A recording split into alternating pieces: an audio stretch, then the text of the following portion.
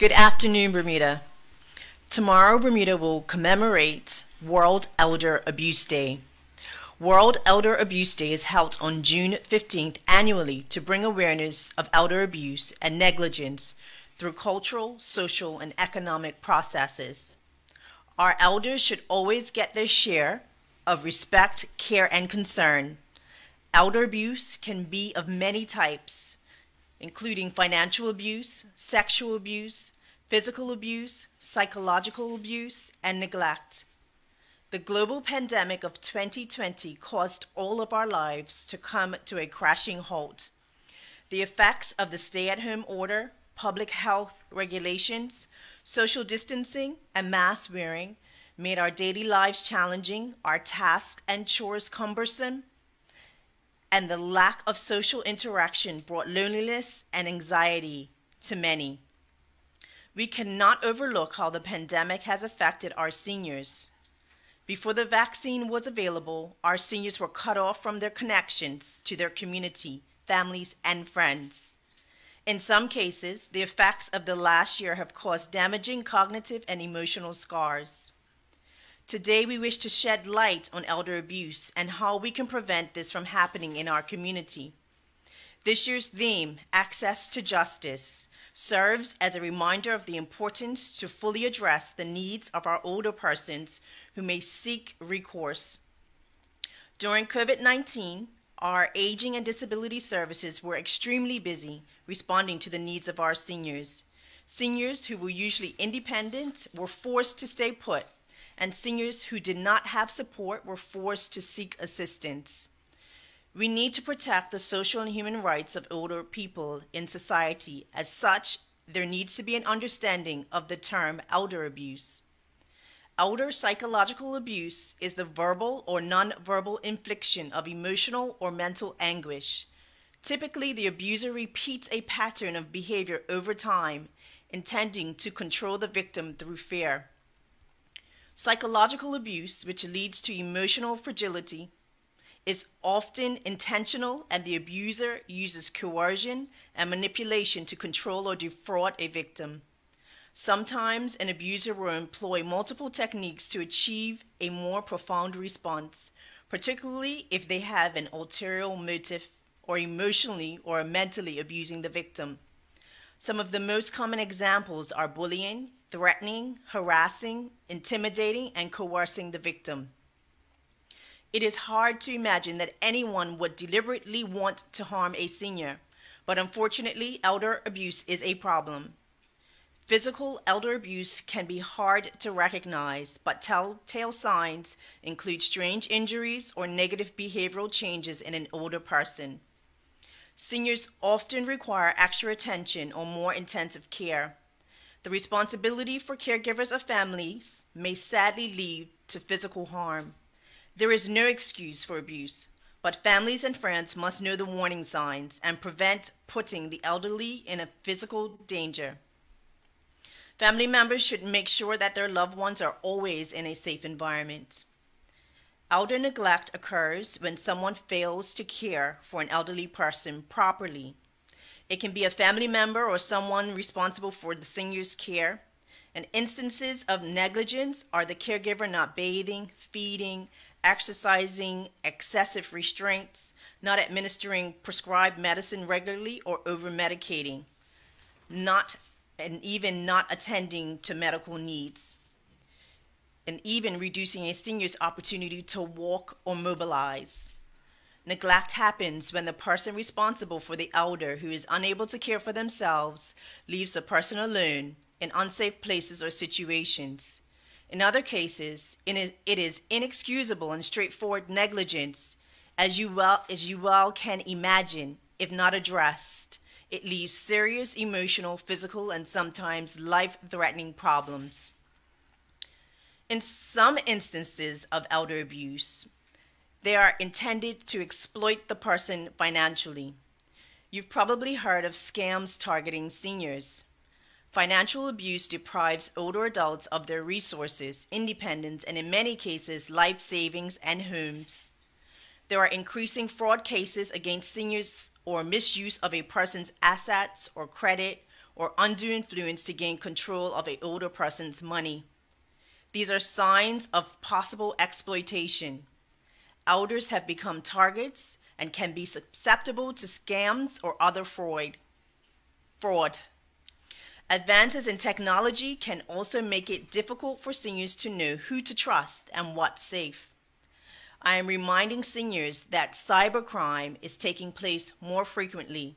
In this digital information age, cybersecurity and information security must be considered. And any warning notices posted by the Bermuda Police Service must be taken seriously. If you do the required steps to safeguard personal information, you can be protected from financial abuse. Signs of elder abuse can be physical, such as bruises, sores, dislocations, or broken bones, and they also include the inappropriate usage of medication. If your loved one is being neglected, the abuse signs may include weight loss, dehydration, and unclean surroundings. Seniors who are being financially abused may suddenly make changes to their wills, have unpaid bills, missing cash or goods, or unexplained withdrawals from their accounts. I will now share with you some tips in protecting yourself or your loved ones from elder abuse. Anticipate potential incapacitation and make sure your financial and legal affairs are in order. If they are not, enlist professional help to get them in order. With the assistance of a trusted family member or friend, only if you are absolutely sure that they will act in your best interests, whether you are of sound mind or not. Be very careful with who you add to your bank account. Ensure it is someone that you trust completely. Keep in touch with family and friends and avoid becoming isolated. Use safety devices and technology to assist with alerting monitoring agencies that help if needed. Carefully select a rest home or nursing home that can meet the needs of the elder. If you are unhappy with the care you are receiving, whether it is in your own home or in a care facility, speak up. These are just some simple things that you can do to protect yourself or your loved ones. Senior abuse reporting and investigation involves the investigation of all forms of senior abuse, including physical, sexual, psychological abuse, financial exploitation, and physical and psychological neglect that is reported to ADS. You can do this by calling 292 7802 or by emailing Aging and Disability Services referral and reporting form to ads at gov.bm. ADS also keeps the Senior Abuse Register that is maintained by the registrar.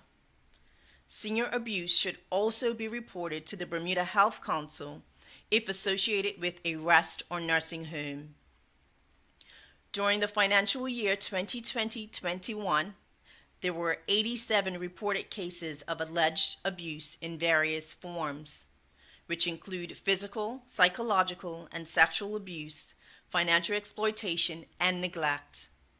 Out of all the reports received by ADS, physical abuse made up the highest portion of reports received.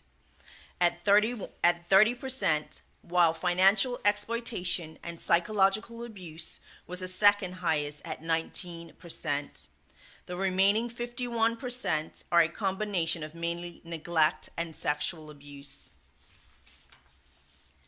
Aging and Disability Services works in collaboration with the Bermuda Police Service on abuse cases, and where appropriate, cases proceed to charges and prosecution. During financial year 2020 2021, Aging and Disability Services supported 45 clients through abuse related investigations in conjunction with the Bermuda Police Service. In Bermuda, as well as other jurisdictions, it is recognized that it is difficult to take care of an elder who has many different needs, and it's equally difficult to be elderly when age brings with it the infirmities and levels of dependence. Both the demands of caregiving support and the needs of our elders can create circumstances in which abuse is more likely to occur. In closing, I would like to remind the public that in 2019, the government introduced the Bermudian Charter of Rights and Responsibilities of the Elderly and Adults in Need of Long Term Care and Assistance, adapted from the European Charter of the Rights and Responsibilities of Older Persons in Need of Long Term Care and Assistance to suit Bermuda's needs. The Charter is a reference document setting out the fundamental principles and rights needed for the well being of those who are dependent on others for support and care due to age, illness, or disability. The government adopted this document to raise awareness for individuals and the community of people's fundamental rights and responsibilities who have long term care needs, and to foster best practices and to complement and support other measures which are already implemented or in development. The Charter was developed based on international and local standards and is available for review at www.gov.bm. As we move beyond the pandemic, I encourage everyone who is blessed to have their senior loved ones with them follow up with them and discuss their care and concerns. And as the theme of World Elder Abuse states, it is up to us to make sure that they have access to justice. At this time, I want to personally thank all the seniors of Bermuda as they have paved the way for many of us today. And I want to personally thank all those persons who work tirelessly to care and assist our seniors. Thank you. Members of the media, any questions?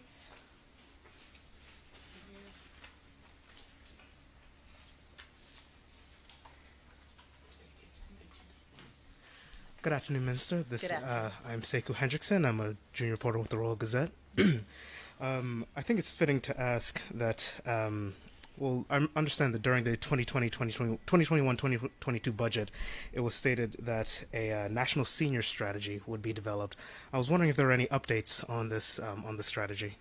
I, the update that I can provide is that we are still dil- diligently uh, working towards a national senior strategy. So that was an initiative that was put towards our uh, throne speech initiatives, and that is an area that we are continuing to work towards. Okay. Um, so far, um, I guess what can be expected of the um, of the senior strategy?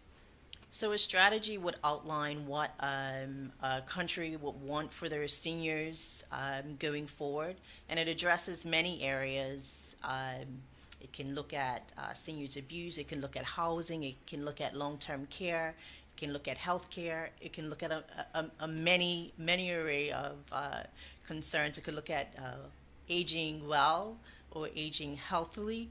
Um, so the national senior strategy will will look at what Bermuda will want overall uh, for uh, a strategy for our seniors. I see. And I guess so far, what has been established um, with regards to these um, to these these wants and um, and requirements? So uh, there have been many reports um, that have been done across many ministries. Uh, there has been a long-term care report. There's been a study done by uh, Age Concern, and then there are many studies uh, and statistics that we do collect um, with Bermuda Housing. I'm sorry, Bermuda Health Council. Um, that looks at uh, where our seniors are, what sort of support services they will need going forward, and so there, there there's lots of data that we have, um, and the as well as the Aging Well Committee. I must not forget them, who also look at um, what seniors' needs are for Bermuda in Bermuda. Is there any of that that you can poss- potentially share? So it's all on government's website. Okay. If you go, if you go to www.gov.bm and do a search for um, senior senior care, um, you'll you'll come across many reports that have Okay. been done. Yes. Perfect, thank you. Excuse me. And I guess on the opposite end of that spectrum, um, I understand that a children's commission was also hoped to be developed, um, and so far, from what I understand, about uh, two hundred sixteen thousand dollars have been put towards that. Um, again, could you just give us an update on um, on what's going on with that children's commission? Yes, so we are we are steadily uh, progressing the Children's Commission. Right now, we are uh, still um, consulting with persons um, who are assisting us through this process. And so that is, again, one of the Throne Speech initiatives, which we are continuing to progress. So you should be hearing about more information about that coming forward. Um, is there any potential, uh, I guess, estimated time that we might be able to hear about this? Well, we're hoping to have it uh, uh, pushed out before the next third speech. So, yes. Okay, all right. Um, this year. This year. Hopefully this year. this year. Okay. Um, and I think on that as well, um, on, I guess on the same topic of, of um, children, I understand that independent living coordinators um, were being contacted for um, for children who were aging out of out of uh, care, and about six hundred thousand dollars has been put to that. Uh, can you just again? Is there any updates on that? Again, the uh, Department of Child and Family Services is also assisting and initiating um, the transitional living services and coordinators uh, support services that we are looking to also progress. And so again, this is uh, something that we are progressing, and we will, when we have more information to share publicly, we will definitely share it with you. Okay, um, and I think this might actually be a good segue. Um, So, as I'm sure you're aware um, from recent reports that we've made, um, a Con- Connette Robinson, who I understand was the assistant director of, um, of Department of Child and Family Services, um, I understand that it, she was involved in a um, in a case that accused her of um, of an assault on a 17 year old girl, and a DCFS, and she was still involved. When the standard procedure is to uh, is to put somebody on suspended leave during this investigation. Um, so, can you just explain why Miss Robinson was still at uh, DCFS instead of being on leave at this time? So I, I must put out there for the record that I was not the minister at the time of any uh, decisions that were made, but any decision that would be made in regards to a civil servant would be the responsibility of the head of the public service. Um, and so, you know, I, I am sure this situation can be difficult for all parties involved, um, but that decision does follow a process and it is dealt with the head of civil service. And do you know if the head of civil services said anything or shared anything about why this might have been? Yeah, we did share that information to the Royal Gazette already. Okay. Okay, great, thank you. All right. Well, thank you, members of the media, for coming, and that concludes our press conference today.